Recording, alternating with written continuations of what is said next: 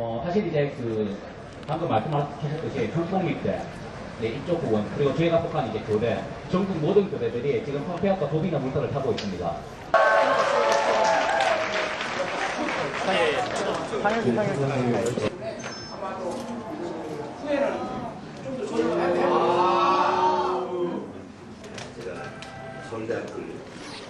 책임지고 있는 사람으로서 학생들이 그런 어려운 상황에 직면하고 있는 것에 대해서 학교를 책임지고 있는 사람으로서 총체적인 그런 그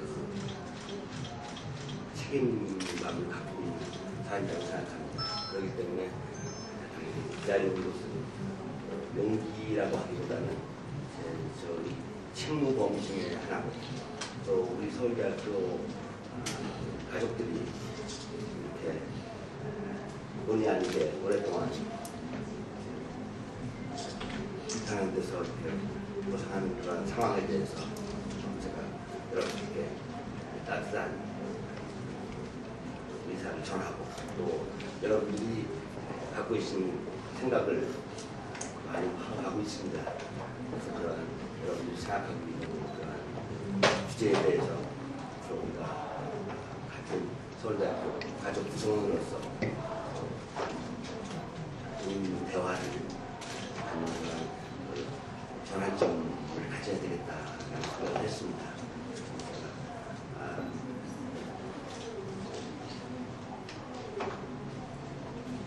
이 시간대 의외의 이 방문을 네, 듣고 있습니다. 그래서 그동안 집에도 못 가고 또 학교 말고사가 가까운데 여러 가지 있습니다. 우리가 아무리 어려운 중에도 서로 상대를 이해하고 또 상대방의 의견을 들으면서 어떠한 바람직한 방향으로 나가는 것을 연습하고 학습하는 것이 교육이라고 생각하고 있습니다. 그래서 어, 그러한 현재 이 상태가 교육기관에서 또 교육 연구원에서 일어난 일만 우리가 그러한 교육기관에 걸맞는 대화 통로와 대화의 질을 유지하는 것이 우리 공통 과제로 이 자리에 오게 됐습니다. 오늘 여러분들하고 어떻게 보면 비공식적인 방송이고 또 대화 방식을 하고 있습니다. 좀 이렇게 좀 많은 학생들이 네, 같이 네, 해석하려고 하는 것은 생각을 못했고 어, 좀 종장실에서 음, 회장단 몇 분들하고 어, 제가 학교를 대표하는 사람으로서 이렇게. 그리고 설립준비위원회 특히나 법인화 추진 과정에서 굉장히 비민주적으로 처리가 되었다라는 것. 그리고 학생들이 아직도 법인화에 대한 우려가 가시지 않았다라는 점들을 반증하는 것이라고 생각합니다. 그렇기 때문에 학생들은 정말 많은 학생들이 모였습니다. 저는 한 번도 본부에서 그만큼의 사람을 모아가지고 총리를 물- 물은 적 없다고 생각합니다. 그 정도의 사람들이 함께 모여서 자기 이야기하기 위해서 모인 거라면은 지금 사태는 심각하다고 보셔야 될 것 같습니다. 그렇기 때문에 저희는 확실하게 이렇게 처리되고 있는 계속해서 방향도 없이 그리고 학내 구성원의 의- 우려를 계속해서 무시한 채 아, 법인화 되면 다 잘 될 건데 또는 이미 법으로, 법으로 정해진 것인데 날치기도 하나의 형식적 민주주의의 과정인데 라는 말을 하시면서 설립준비원을 해체할 수 없다 또는 재논의할 수 없다 라고 이야기하시는 것은 저는 학교 전체의 책임자로서 하신 말씀은 아니라고 봅니다.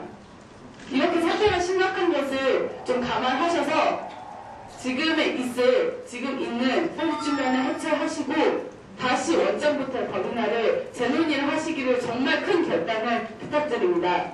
저희 그리고 말씀드리기 앞서서 그동안 그런 얘기 많이 들어왔습니다. 날치기도 대의적 민주주의 하나의 형식이고 그렇고 어, 더불어서 지금 시행되고 있는 법이나 어, 이거 국회에서 결정된 건데 우리가 어떡하냐. 나는 총장이기 때문에 날치기에 대한 입장 표명 못한다. 라는 말 수도 없이 들어왔습니다. 어, 내가 빨리 에, 학생들이 얼마나 지금 어려운 상태인가. 그러면 확인도 하고 싶고 또 여러분께 에, 건강한 상태에서 강의실과 가정으로 돌아가야 한다라고 하는 염원을 일단 말씀드리기 위해서 이 자리에 왔습니다. 그래서 어, 구체적인 그 학생들의 관심사에 대해서 준비나 자료를 가져온 것도 아니고 제가 아무런 사실 오늘은 그 수행도 하지 않고 어, 오다가 이제 제가 온다는 게 어떻게 알려져서 이렇게 왔기 때문에 에, 나중에 아마도 어, 보다 격식을 갖춘 공개 토론의 기회를 가질 수 있다고 봅니다.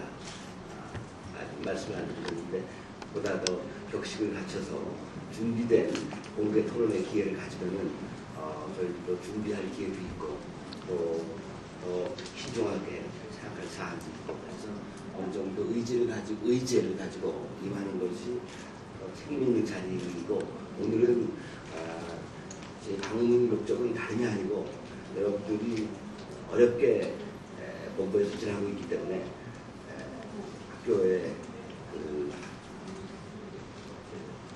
어른이라고 하면 여러분 인정을 할지 모르겠습니다만 저 어른으로서 또 교수로서 여러분들 건강한 모습으로 아, 빨리 에, 귀가하길 바라는 그런 인간적 차원에서 일단 다른 그런 그런 준비를 하지 않고 여기 임한 겁니다.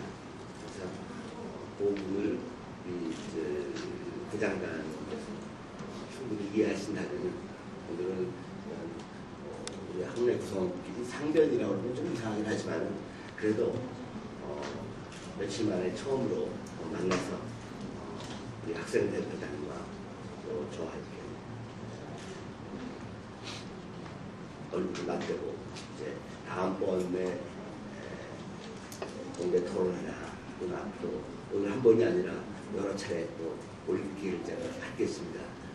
그런 어, 단계로 단계 중에서 하나로 이해하면 좋겠다 생각을 하고 있습니다. 그래서 아까 질문한 내용에 대해서 제가 아, 메모를 몇 개 해놨습니다만 저도 아, 구체적으로 하게 돼서 예, 정리도 해야 되고 의견 집약도 해야 되고 그런- 그런 문제 라는 점에서 여러분이 다음번에 고개 토론의 기회를 또 한번 갖도록 이렇게 가져가는 의미에서 오늘은 한 2, 30분 아, 좀 편안한 마음으로 자리에 임하는 것이 어떨까 하는 제 생각이었습니다. 구성원의 논의 없이 일방적으로 추진되고 있는 서울대 법인화를 중단하기 위해서이다. 서울대 학교 학생들은 그리고 현재는 부청학생회장의 무기한 단식까지도 진행하고 있습니다. 저희가 이렇게 진행하게 된 이유는 어, 현재 서울대학교 법인학법이 구성원의 합의 없이 이루어지고 있기 때문이고 어, 그에 대해서 교육과학기재부 장관이나 어, 총장은 이에 대해서 굉장히 무책임한 태도를 일관하고 있기 때문입니다. 네, 서울대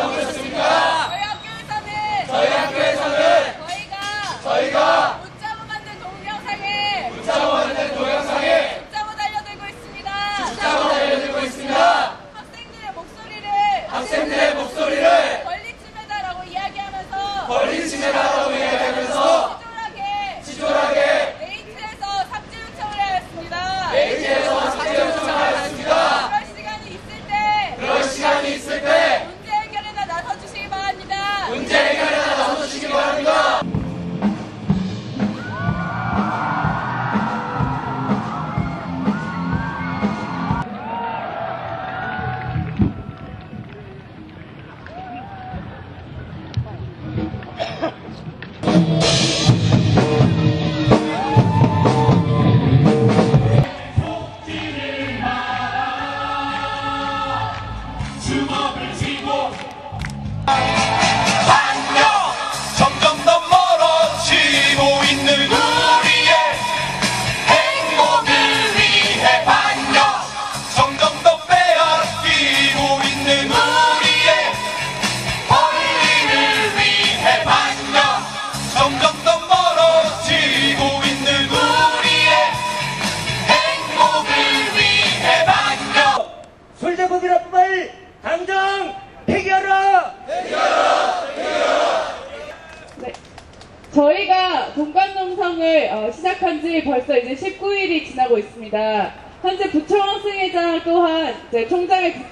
출석을 요구하면서 어, 이제 4일째 단식에 접어들고 있습니다.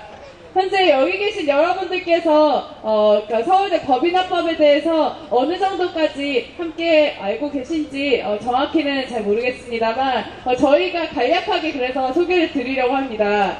서울대 법인화법에 대한 우려는 거의 3년 이상 계속해서 지- 예, 진행되었었습니다.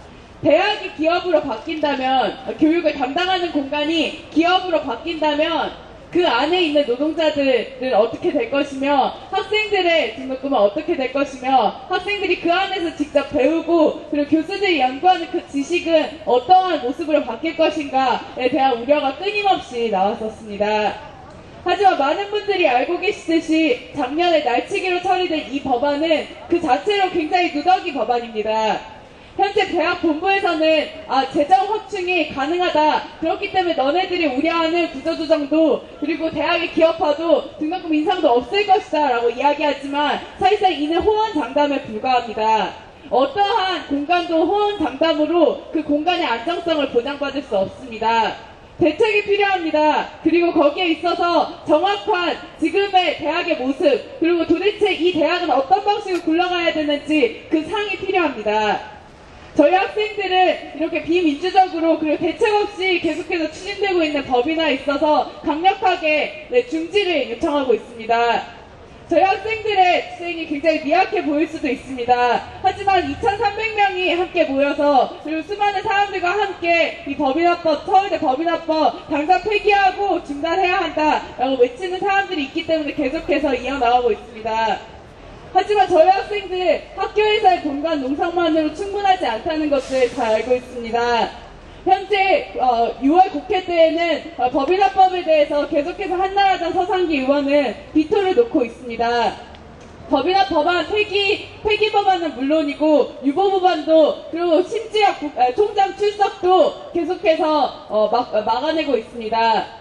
어, 여기 계신 여러분들, 여기 계신 동지들의 힘으로 이제 6월 국회 때 어, 정말로 한나라당 이제는 날치기의 책임을 지고 진정으로 법인화법 다시 재논의해야 된다라는 정말 제대로 된 생각할 수 있도록 함께 계속해서 투쟁에 나왔으면 좋겠습니다. 6월 국 회 얼마 남지 않았습니다만 여기 계신 여러분들의 힘이라면 여기 계신 여러분들의 소망이라면 저는 가능할 거라고 생각합니다. 예, 그리고 여기에서 저희 학생들이 계속해서 투쟁하고 있는 모습들 수많은 연대와 수많은 지지로 박수를 보내주시고 이 저희의 싸움이 어, 지금의 조그만 불씨로 그치지 않도록 함께 연대해 주십시오. 저희 학생들 조금 더 열심히 조금 더 땀 흘려서 그리고 조금 더 절실하게 함께 싸워 나가도록 하겠습니다. 추세입니다. 추세!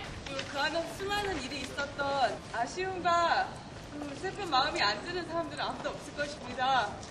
특히나 지난 초기 때 함께 진짜 본부에게서 얻어낼 거 다 얻어내자. 네. 아, 아쉽지 않은 사람도 없을 것 같습니다. 하지만 저희는 여기 있어서 그렇기 때문에 더 많은 책임감을 느끼고 다시 한번 원점이 아니라 그래도 우리가 쌓인 기반들을 토대로 하여 다시 한번 국회로 가자.